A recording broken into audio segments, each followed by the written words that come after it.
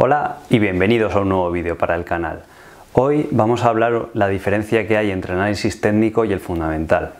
Cuando uno llega al mundo de la bolsa, pues se encuentra que, tiene que decidir qué corriente va a seguir para analizar. Es de vital importancia y va a tener un efecto importante en los rendimientos futuros de cualquier inversor. Y haciendo un símil futbolístico, sería como ser del Madrid o del Barcelona. Normalmente no hay consenso y cada uno tiene sus argumentos a favor y en contra de cada método. Entonces, yo normalmente he operado toda mi vida el 95% del tiempo con análisis fundamental y obviamente el vídeo va a estar un poco sesgado a explicar por qué creo que es mejor. Pero vamos a describir los dos y vamos a ver las diferencias que hay en cada uno. Aquí os he traído el análisis fundamental, he puesto los, datos fundamentales o los puntos en los que se basa y el análisis técnico. El principal o uno de los principales es que en análisis técnico no se mira lo que hace la empresa o los datos económicos, si queremos especular en, en, mercados globales o en países o en tipos de interés o en monedas. Y en análisis fundamental, pues sí que se fija e importa muchísimo a lo que se dedica la empresa. No es lo mismo que una empresa venda muebles, que venda zapatillas o que venda materias primas o que se dedique a extraer petróleo. Cambia radicalmente la, forma de, de analizar esas acciones. Otro punto fundamental es que en el, eh, el, análisis técnico se hace un uso intensivo, está basado en los gráficos, ¿vale? Y tiene dos variantes.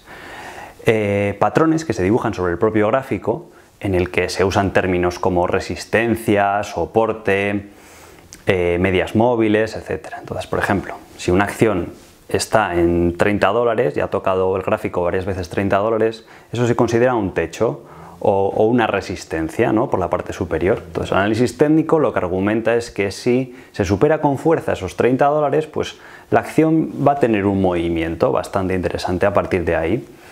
Y lo que buscan es pues, aprovecharse de, esos pequeños movimientos.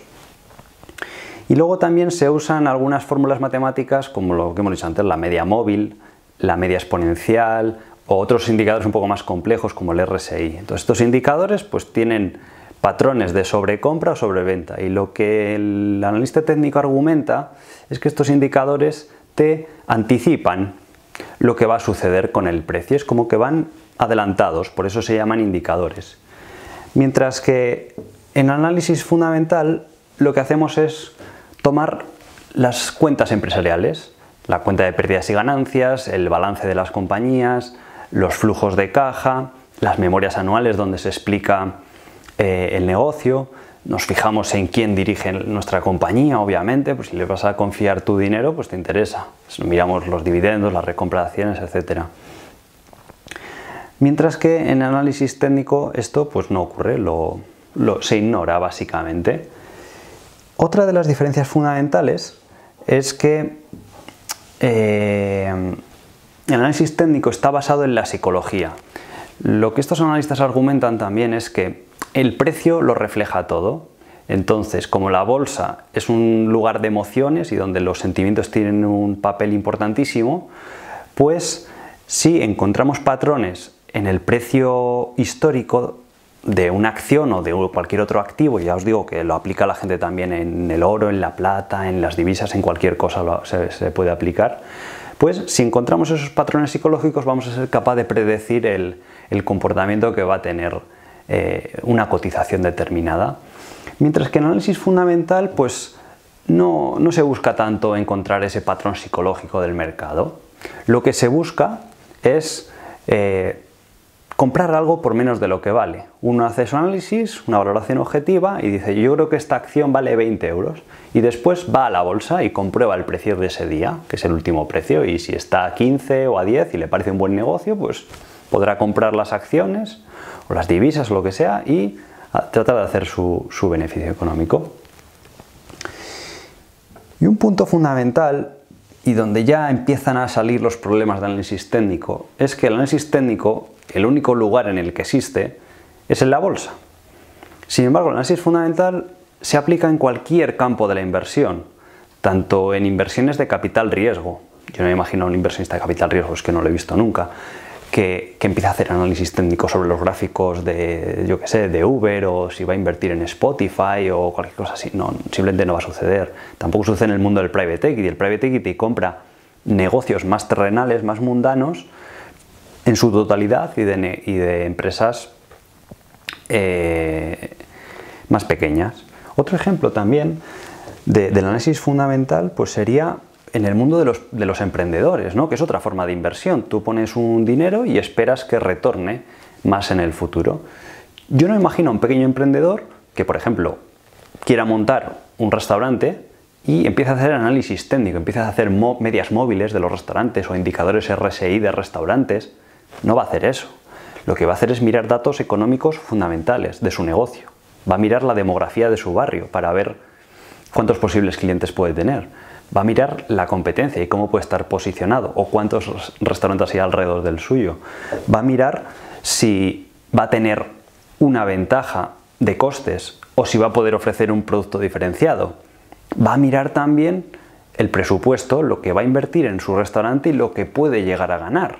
Y al fin y al cabo, el análisis fundamental, lo que hacemos en la bolsa es lo mismo, es mirar cuánto nos va a costar esas acciones y qué retorno del capital va a tener, porque al fin y al cabo, a largo plazo, como demostramos en anteriores vídeos, el concreto el del value investing, pues a largo plazo va a tener un retorno similar al comportamiento del, del negocio. Otro factor clave en análisis técnico, y es una pregunta que yo hago a todos los amantes de análisis técnico, es por qué no existen fondos o grandes inversores que hayan tenido un éxito dilatado muchos años, usando única y exclusivamente el análisis técnico. Realmente no existe. Puede haber gente que ha tenido suerte dos, tres años haciendo esto y bueno, pues le ha salido bien. Pero a largo plazo todavía no está demostrado que eso sea sostenible. O sea, no hay ningún analista técnico en la lista Forbes 400, de los 400 hombres más ricos del mundo. Mientras que inversores o especuladores que usan datos fundamentales, porque ese es otro tema que vamos a ver ahora. Los especuladores exitosos también usan datos fundamentales para especular. Eh, pues sí que aparecen muchos de ellos en esta lista. ¿vale? El análisis técnico muchas veces se asocia al trading o a la especulación y demás. Y grandes especuladores a lo largo de la historia, como George Soros, o Stanley Drucker Miller, o Paul Tudor Jones, han sido exitosos la especulación, pero usando siempre datos fundamentales. Uno puede ver los artículos que han escrito estas personas, sus cartas, sus entrevistas, sus libros. George Soros ha escrito multitud de libros. Se puede consultar y cualquier persona va a ver que él incluso en su especulación global, también la aplicaba en acciones, pero en su especulación global sobre índices o monedas o el oro o materias primas, está basado en factores fundamentales, como pueden ser los tipos de interés, los flujos de capital, la balanza de pagos de un país, la evolución del PIB de un país. Y en las, acciones sucede lo mismo. Un símil que suele hacer de análisis técnico es que sería como conducir mirando por el retrovisor. A nadie se le ocurriría, será una, una insensatez. Pues eso es lo que busca el análisis técnico el decir, voy a mirar al pasado, a ver lo que ha hecho la cotización, voy a tratar de buscar un patrón y con eso voy a tratar de anticiparme a lo que va a suceder al futuro. Sin embargo, el análisis fundamental es lo opuesto, es conducir mirando a la siguiente curva, a qué puede venir al futuro. El pasado no importa, o sea, el pasado no determina el futuro, es una frase hecha pero totalmente válida. Hay acciones que pueden estar a 20 euros y subir a 60, y el analista técnico pues estaría salivando y pensando que es la mejor inversión del mundo, son inversores tendenciales y que buscan seguir esa tendencia. Y a 20 euros, pues probablemente la acción estaba barata, pero normalmente si ha llegado a 60, por análisis fundamental y económico, probablemente esas acciones estén caras y seguramente el comportamiento futuro no vaya a ser el mismo que, que el anterior que ha tenido. Y un punto clave para acabar ya es el análisis técnico ha tenido su éxito porque es fácil cuando uno entra al mundo de la bolsa. Y sobre todo ha tenido mucho éxito entre pequeños inversores porque es más sencillo. No quiere decir que el análisis fundamental sea complejo, porque es cierto que las personas normales de la calle o la gente que entra en la bolsa, a lo mejor no tienen conocimientos económicos, no saben de contabilidad, no saben analizar los balances, pero aprendiendo y con un poquito de formación, pues se puede mejorar perfectamente. Entonces, el análisis técnico, cuando uno tiene que decidir qué corriente va a empezar a usar en la bolsa, pues le es, muy interesante al pequeño inversor, porque es sencillo, sobre todo. Uno coge el gráfico y ya está, no tiene que usar otra cosa. Y lo que te dice el análisis técnico es, oye, empieza a dibujar rayitas de soportes, dibuja rayitas de, resistencia y bueno, pues hay gente que no sabe analizar eh, términos contables o términos financieros unas cuentas anuales, pero todo el mundo sabe dibujar. Entonces uno acaba dibujando, dibujando y parece hasta Picasso, ¿no? Haciendo cuadros dentro de un gráfico. O le añades tres, cuatro indicadores a una gráfica y ya, pues en función de eso puedes hacer una especie de de de lo que va a suceder y tratas de adivinar el precio. Y en parte esta industria del análisis técnico está fomentada por los brokers. Los brokers tratan de hacer el operar en bolsa como algo sencillo. Entonces les interesa fomentar esta técnica de inversión de, oye, toma solo tu gráfico, no, no tienes que usar nada más y con esto vas a ser exitoso. Entonces, para los brokers esta operativa de análisis técnico también implica que el cliente va a hacer más número de operaciones. Eso va a significar más beneficio para el broker y parte de ese beneficio le va a reinvertir en nuevo marketing para fomentar esa forma de, operar en bolsa y crear la falsa expectativa de que todo el mundo puede ganar y que esto de la bolsa es facilísimo y de que una persona empieza con 20.000 euros y que en el primer año los ha multiplicado a 60.000. A largo plazo los multiplicará, pero no va a suceder normalmente en un año y si sucede es porque está tomando unos riesgos muy grandes. Mi recomendación final es obviamente que se el análisis técnico en un 95% de las ocasiones y el 5% sí que hay ciertas cosas que pueden tener eh, función análisis técnico en contra del fundamental.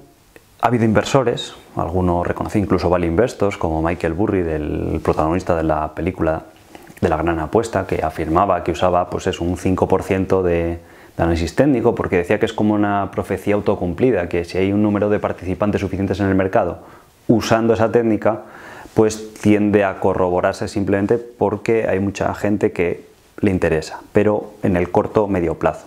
Él afirmaba que lo usaba para buscar puntos de entrada o salida.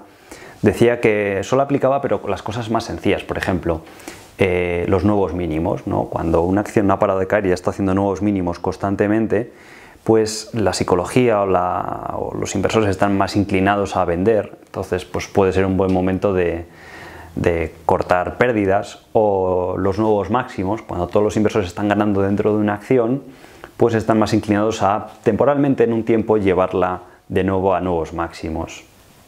Alguna cosa de soporte, resistencias, ¿vale? Tampoco lo voy a demonizar porque es cierto que hay gente que lo usa y pues bueno, si lo usa tanta gente puede tener alguna cierta utilidad, pero dudo que una persona sin hacer ningún uso de análisis fundamental o tener un amplio conocimiento vaya a tener éxito en la bolsa a largo plazo. Es literalmente imposible porque no existen casos, o yo al menos no los conozco. Así que con esto nos despedimos del vídeo, espero que os haya gustado, compartirle, suscribiros al canal para estar al día de, nuevos vídeos y nos vemos en próximos capítulos. Un saludo y buena inversión.